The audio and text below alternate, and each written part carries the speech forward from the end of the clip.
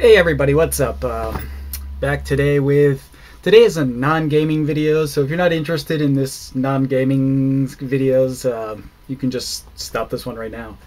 So, um, but if you want to hear about something kind of Japan related that might be interesting, then just keep watching, I guess. so yeah, uh, first I have a sm small announcement for fans of my hair. If you haven't noticed already, I've cut my hair. Cut it. It's different. It's totally short now. Um, so it's it's the end of an era, I guess. My hair is totally different. Um, it's not really crazy different. It's still spiky on top. Just short in the front now because it was damaged. But totally unrelated to the topic of this video. So today, today what I'm going to be talking about is um, being a host in Japan. And I don't know if I've ever mentioned this. I'm, I'm sure I have uh, in some other videos or somewhere. Um, but I, uh, for a brief period, I was a host in Japan, and I didn't really do it for money or anything. I just did it because, you know, we don't have hosts in the U.S. or I don't know if there are any in Europe, but I doubt it. And uh, I did that for a couple of months here, just for the experience to just say like, oh yeah, I was a host. I did that and I did. So, what I want to talk about is being a host. And first, if you don't know what a host is, it's kind of like, I don't know, like you're a guy in a suit who talks to girls and they come in and drink and pay money to do that. So, I don't know, it's kind of like a drinking with girls job. it's hardly a job, but it's it's hardly fun either. But I'll get into that. Um, let's see. So let's start with how I became a host. Uh, I was a. This is when I was living in Saitama. I Saitama is just outside of Tokyo, so I was a. I was not far out in Saitama. I was pretty close to Tokyo anyway. But uh, my the Japanese school I was going to was in Saitama, so I was in Saitama. And during that time, in Saitama, I got kind of talked to but on the street by like a scout, I guess, a host scout. And at that time, I wasn't really interested in it, but I thought ah, I might as well. But he gave me a card and said like, "Oh, if you if you're interested, just like sign up on our website." And I'm like, "Oh, okay, I'll do that." so, uh, actually, a couple weeks later, I signed up on the website because I thought, ah, I might as well give it a shot. I'm not doing anything. And it was all right. So I did that. I filled out an application on the website and I, you know, got some e- emails back and forth with the uh, owner. And I had an interview at the club and I was hired as a host, which doesn't, it, I mean, it was just kind of like the interview was like just talking a little bit in Japanese and then we like went over what the job is, and they showed me a couple of things, and that was about it. I mean, I didn't really. I mean, it wasn't a difficult interview. It was just kind of like, you know, do you, do you do you look normal enough to be a host? Do you uh, can you speak to people normally? Uh, so I think I passed that because I got hired. So yeah, and that's about it. So I started being a host, and the thing the thing about it was is that I was actually working another job and going to school at the time, so I was busy. I mean, I I had like a not a full time job, but I had like I worked 30 hours a week, which was like the maximum I could work while being a student. And then I went to school in the morning, and then I started being a host at night. So like as you can imagine, my sleep time was like uh, almost non-existent for a couple months. Like I just slept like two hours or three hours at a time, and then I would go to some school or job and then come home and sleep for a couple hours and then back off to some other job in that kind of pattern for months. And this the, the host job actually started from the evening, so not the evening so much as the middle of the night. So I mean, I started at around 10 p.m. or 11 p.m.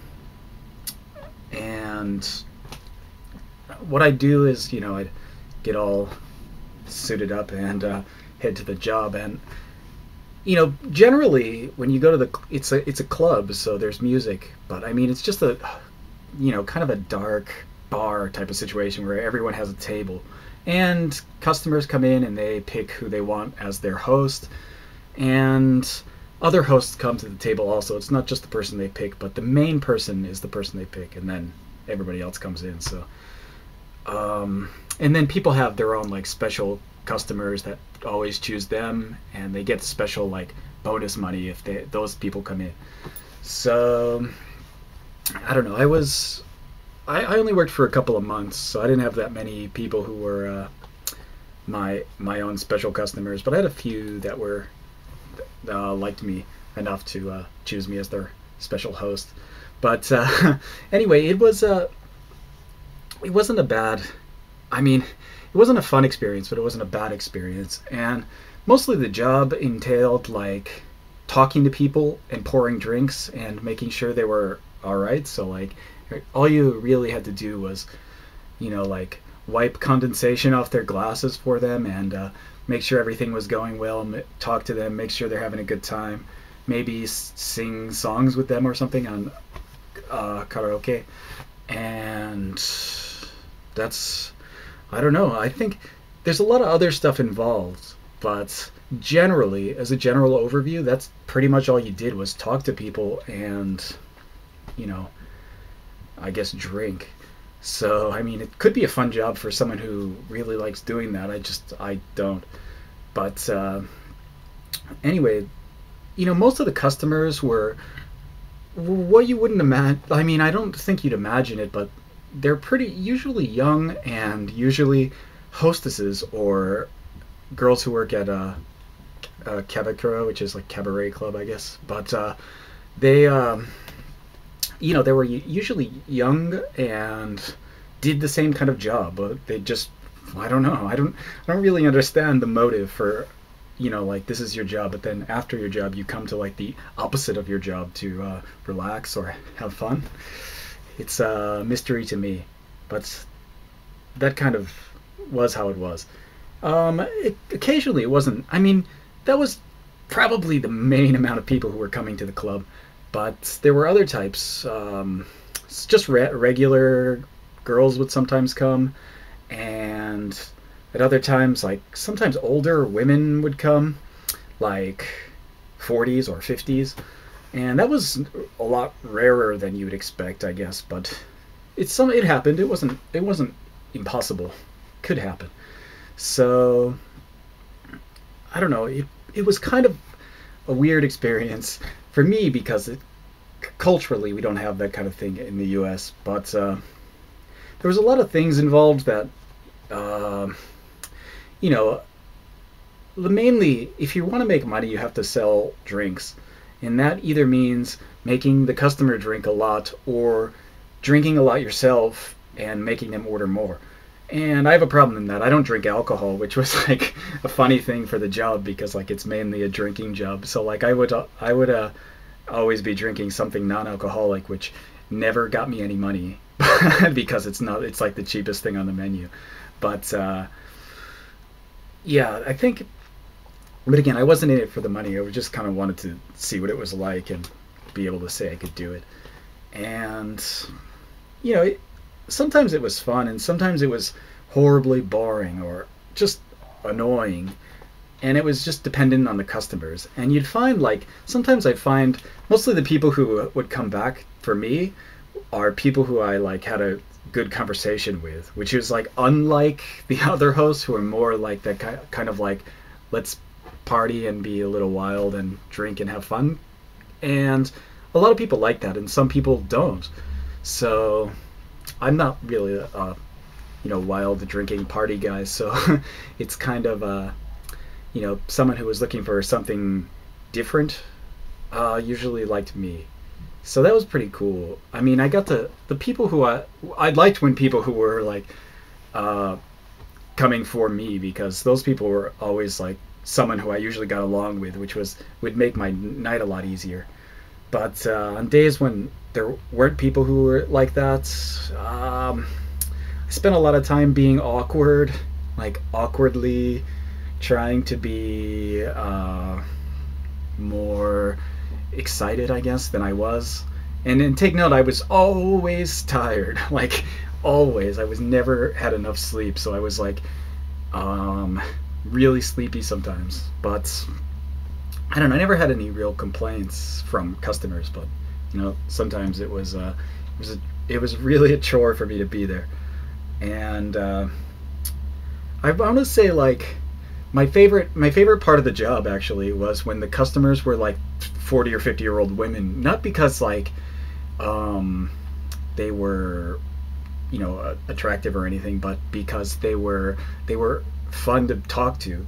I mean they had a lot of stuff to say and they'd tell funny stories and it was actually like interesting. Like you could talk to them like and learn things and i thought that was a really fun part for me. I mean it was rare that they would come in but i i'd always like talking to those types of people because you got a lot of like i actually got something out of it. Like i felt like oh that this that was interesting. It was a fun night. And uh, you know i don't know i'm i'm not much of a party guy so it wasn't a uh, i don't know party situation kind of i mean it was but more of an adult situation which was which was better for me um, I don't know. I think overall, like the thing with being a host was that it was really easy to do. I mean, if I drank, it probably would have been like a uh, something I could have done and made a lot of money at because you know it would have been it would have been fun and I would have been being paid to do it. So you know, I think a lot of times it was kind of a mess. And I have a lot of other stories about being a host, like stuff that happened, but I'm not going to get into it today because this video is already like pretty long. But that was just a, I don't know, basic overview. And I worked at actually two different host clubs. So I worked, first I worked at the one in Saitama, and then I worked at another host club in Shinjuku for, both of these clubs I worked at maybe for two months or so. Um, two months at a time, I guess, or maybe the Shinjuku one I only worked maybe a month and a half because I was just burnt out. Like I just couldn't get up anymore. I was so tired all the time. But um, I don't know. I had a lot of fun doing it and a lot of boring, tired nights.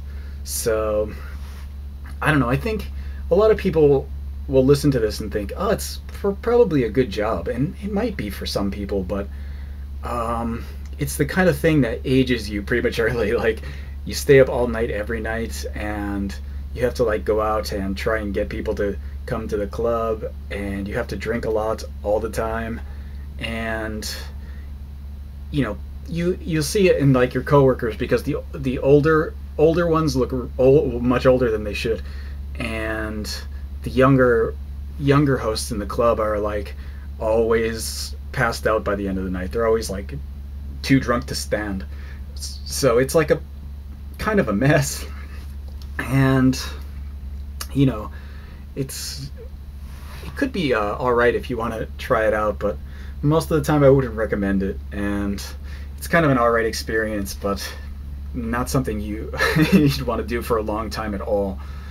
So, yeah, if anybody has any questions about being a host in Japan, not how to be a host because um, you can probably just go to any host club's website and apply. I mean, I was scouted, but you can just apply, I guess, if you you know have a picture and a resume or whatever. I mean, I don't know what the resume entailed. I don't remember, but it wasn't much, I don't think. So, anyway, yeah, if you guys have any questions or want to know more, comment below. And if there's enough questions, I'll just make another video. But if not, I'll just answer everything in the comments. So, alright then. Catch you guys next time.